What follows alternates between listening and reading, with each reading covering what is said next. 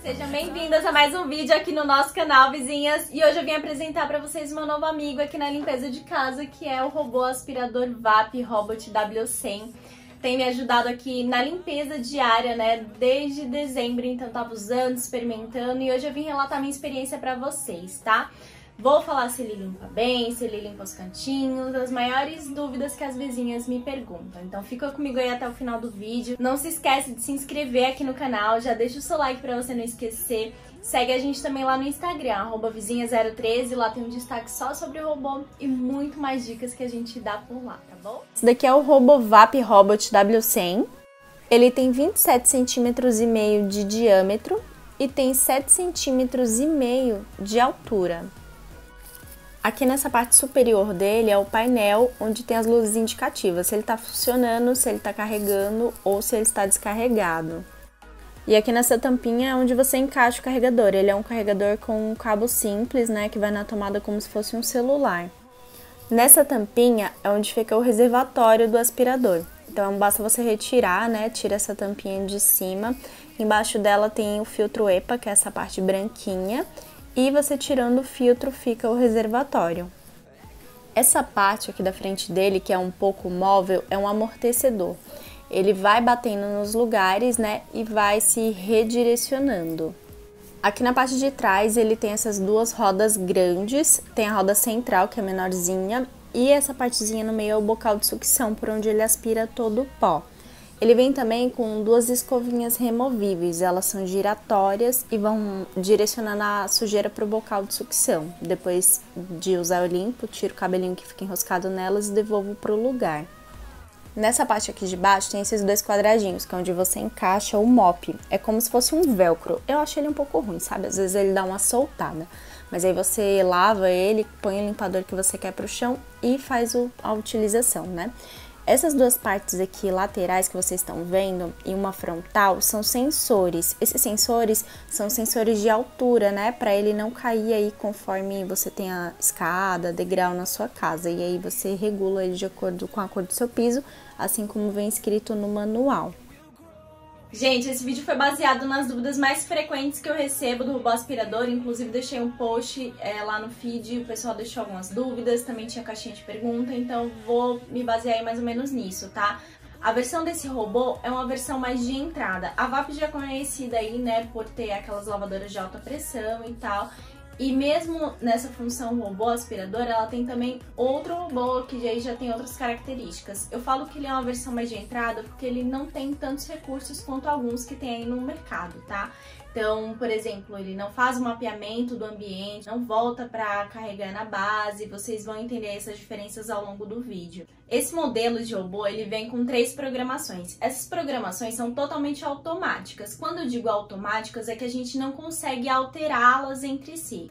Existe a programação aleatória em que o robô vai para o meio da casa, vai para um canto, vai para o outro. Existe a programação espiral que ele vai girando e existe a programação cantos que ele vai limpando todos os cantinhos da casa. Mas, como eu falei, a gente não tem controle sobre isso, tá? É totalmente de forma aleatória ele quem decide. A única coisa que a gente faz com esse modelo de robô, gente, é ligar e desligar. Então não tem como você programar se para ele aspirar em tal lugar, para por tanto tempo, nada disso, tá? A gente liga, ele vai aspirar onde estiver por quanto tempo ficar ligado. Se você não desligar, ele vai permanecer desligado até acabar a bateria.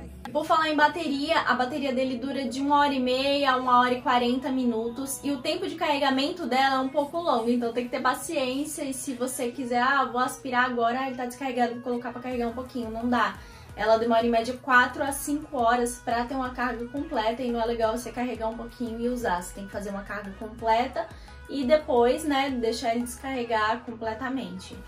E aí o pessoal pergunta se esse tempo de bateria é o suficiente para limpar a casa toda. O meu apartamento ele tem 48 metros quadrados, gente. São dois quartos, sala, cozinha, corredor. É pequena a minha cozinha, um banheiro pequeno, enfim, é um apartamento pequeno.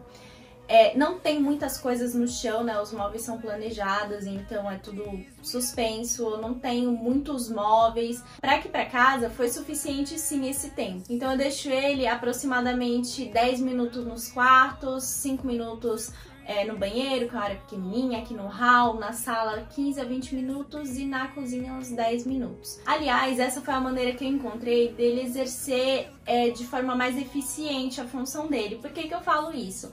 Porque se você deixar ele no quarto, deixar a porta aberta para ele ir para qualquer lugar, não vai rolar, essa limpeza não vai ficar legal, porque ele não tem o mapeamento do ambiente. Como eu falei, ele é um robô mais simples, então ele não sabe onde está a sujeira, ele não tem dimensão do espaço que ele está, ele simplesmente vai na programação automática dele, se baseando com os cantos, ele tem ali a parte da frente um amortecedor, e nesse, é, embaixo desse amortecedor tem um sensor, né? Ele tem os sensores. Então ele bate, ele não vai ficar batendo sempre no mesmo lugar, ele vai se direcionando para outros ambientes. Só que se você deixar ele assim à vontade na casa, a gente não vai dar certo essa limpeza, tá? Essa foi a maneira melhor que eu encontrei de utilizar ele, sendo por ambientes e deixando ele é, trancado, né? Delimitando os espaços. E aí, depois que ele aspira todos os ambientes aí de acordo com esse tempo médio em cada cômodo que eu falei para vocês, ainda sobra um tempo de bateria. Isso leva em média mais ou menos uma hora, uma hora e dez minutos para ele aspirar toda a casa. Vocês viram que ele tem a função mop, né? Eu não utilizo todas as vezes, vizinhas.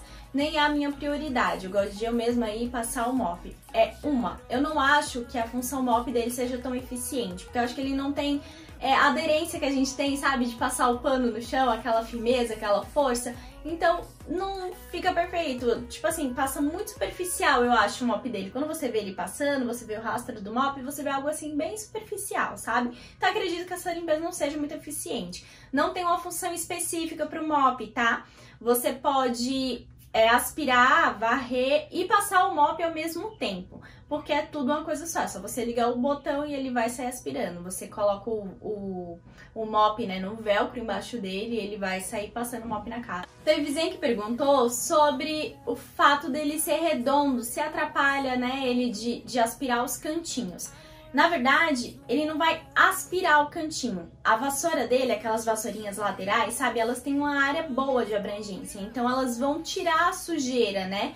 maior, mas de repente aquele pó lá do cantinho vai passar, não fica tipo super perfeito. O fato dele ser redondo também, eu vou deixar as dimensões deles aqui, mas ele tem 27 centímetros e meio. Ele não vai entrar em alguns lugares, então, por exemplo, é a privada, lá no cantinho da privada, se eu for com a minha vassoura elétrica, eu consigo, né, virar ela e ela aspirar aquele cantinho. Ele, claro, não vai entrar. E aí perguntam, ah, ele entra em todo lugar, embaixo da cama box. Sim, ele vai entrar em dependendo da altura, né, da sua cama, ele vai entrar embaixo da sua cama box. Na minha ele entrou, porém ele não saiu. Porque o que acontece? O meio da minha cama box está abaulado. Então ele enganchou e empacou naquele canto. Se ele empaca em algum lugar, ele não desliga, tá? Então é bom você estar tá sempre observando, né, o comportamento dele. Se eu vi que ele empacou, eu vou lá e tiro de onde ele empacou, porque senão ele vai lá ficar gastando energia, né? é, enroscado em um canto, ele não vai desligar, tá? Ele só desliga, como eu falei, se você apertar o botão ou se acabar a bateria. Outra situação que ele desliga é se, por exemplo, ah, eu tô aqui aspirando o quarto, terminei o quarto, eu não desligo ele para colocar lá no outro quarto, eu pego ele. Quando eu retiro ele do chão, ele para de funcionar, isso é normal. Quando eu coloco ele no chão novamente, ele torna a funcionar dessas questões do canto é bem relativo. Se tiver alguma sujeira assim maior, né, a vassourinha vai pegar, mas ele não vai aspirar aquele cantinho específico. Tenho que confessar para vocês que às vezes é, eu tô passando, ah, eu tô na cozinha, passei ali pela sala, vi um cantinho que ele ainda não aspirou, vou lá e dou aquele empurrãozinho. Não que ele não vá passar por lá, mas de repente ele vai no tempo dele. Então, para garantir que ele realmente vai passar e eu vi que ele ainda não passou, eu vou lá e coloco em alguma sujeira maior que eu tenha visto. Né? Agora eu vou deixar vocês com as imagens aceleradas é, do comportamento dele mesmo, aspirando a sala. coloquei ele para aspirar só a sala, depois eu mostro para vocês aí como é que ele se comportou naquele lugar. E outra coisa legal de se falar também é que ele tem os sensores de degrau. Então, se você tem uma casa com escada, é, você consegue regular isso, é, fica embaixo dele de acordo com a cor do seu piso. Isso o manual explica bem direitinho como é que você deve fazer, mas eu também fiz o teste para vocês, mesmo sem ter degrau em casa, é, em cima da mesa, para vocês terem uma ideia se ele segura a onda ou se ele vai de degrau abaixo. Ah, gente, outra coisa que o pessoal pergunta muito é se ele aspira tapete. O fabricante recomenda que seja tapete de pelo curto, tá?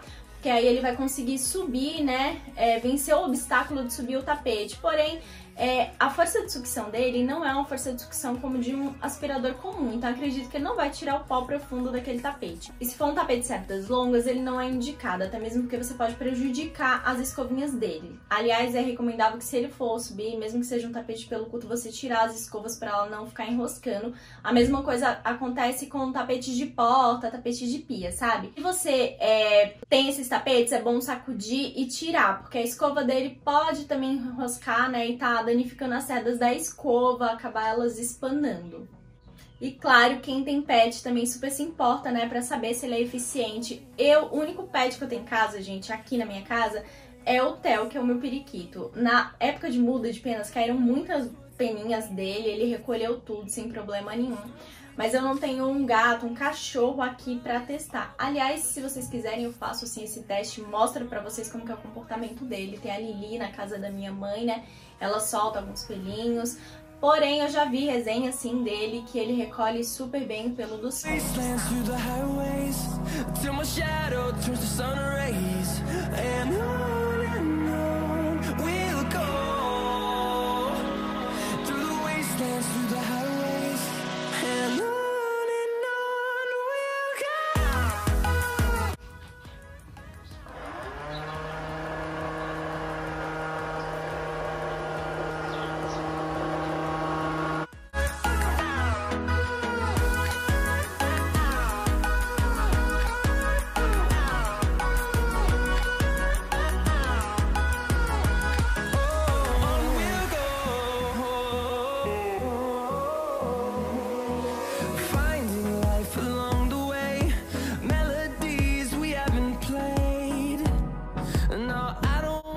Deixei ele funcionando aqui uns 20 minutos na sala. E aí vou abrir pra vocês verem como é que tá por aqui. Só na sala mesmo que ele passou, tá? Vamos ver. Aqui. Só na sala, pessoal. Olha só. Um monte de sujeirinha ali, de comida do Theo, que cai muito bagacinho. Ele pega muito bem essa poeira aqui, ó, bem fininha, sabe? Limpou bem, né? Daí agora eu vou fechar e vou colocar ele nos outros ambientes para fazer a limpeza aí completa da casa para vocês verem como que fica esse reservatório.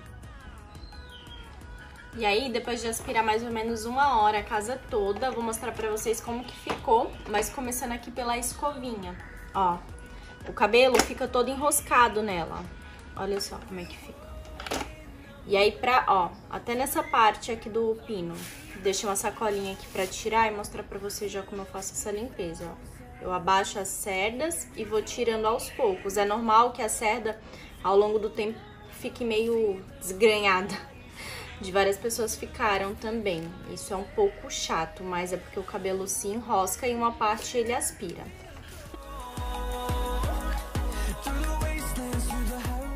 Todo final de limpeza eu limpo as cerdas.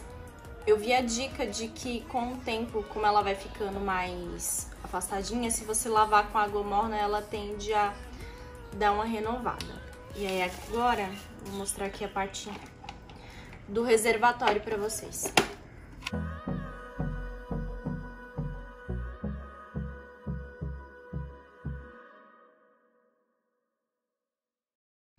Foi assim que ficou o reservatório. Aquela primeira parte que mostrei pra vocês tinha acabado a sala, né?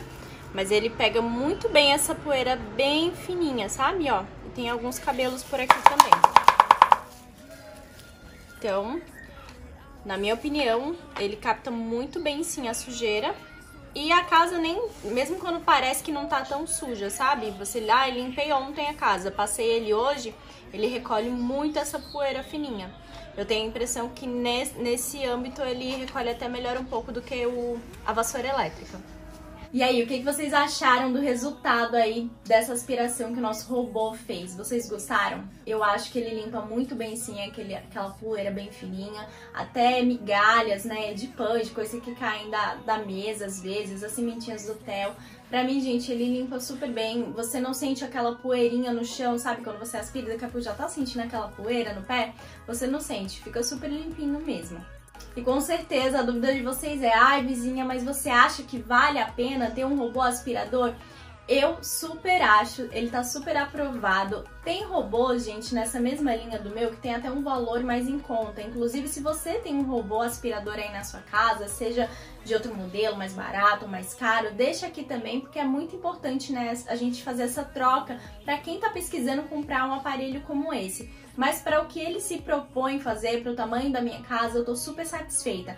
Agora, se eu tivesse uma casa maior ou com muito espaço livre que demandasse um pouco mais de tempo em cada ambiente. Eu acho que a bateria dele, né, dura pouco tempo, talvez não desse para aspirar a casa toda. É, na minha opinião, ele não daria conta de um ambiente muito grande. Aí eu acho que o importante é você ver um robô que faça um mapeamento, que veja onde está a sujeira, que não gaste muita energia é, onde ele acha que tem que gastar, sabe? Que é um robô um pouco mais inteligente. Esse meu dá super tranquilo porque aqui em casa é pequeno e eu acredito que tipo o tempo que ele às vezes insiste em um cantinho não vai fazer muita diferença aí no final. Mas numa casa maior pode ser que esse modelo deixe a desejar, é, não passando em alguns lugares pelo fato dele não ter esse controle aí do tempo versus é, espaço, né? Mas se você, assim como eu, tem um apartamento pequeno, vai usar ele só para manutenção da casa, porque é importante deixar isso claro aqui. Ele não é um robô que vai fazer faxina, gente. A faxina eu deixo por conta da minha vassoura elétrica. Eu passo a vassoura uma vez por semana e passo ele em média duas vezes por semana, totalizando a limpeza da casa em umas três vezes por semana, né? Então ele me ajuda sim muito a manter, é muito válido para manter e eu já vi vizinhas que compraram, né? Até influenciadas por a gente lá na página, falaram vizinha, eu comprei, adorei, me ajudou com os meus pets, ajuda a manter a casa limpa. Eu acho que para essa função de manutenção ele atende sim muito bem, mas ele não vai ser um robô que vai faxinar a sua casa, tá? E é isso, gente. Essa foi a minha opinião, a minha experiência aí com o robô aspirador VAP Robot W100. E como eu falei, se você tem um outro, comenta aqui, deixa a sua experiência que é muito válida e importante pra gente, tá? Se você gostou desse vídeo, não esquece de deixar o like pra ajudar a gente. Deixa aqui também nos comentários sugestões de outros temas, outros aparelhos, né, que você queira ver por aqui. Segue a gente lá no Instagram, tem muita coisa legal, muita dica, rotina, dia a dia que também pode estar ajudando você aí a facilitar a sua vida de dona de casa se inscreve aqui, não esquece, tá? Obrigada por ficar aqui até o final, um beijo, fiquem com Deus e até o próximo vídeo, vizinhas!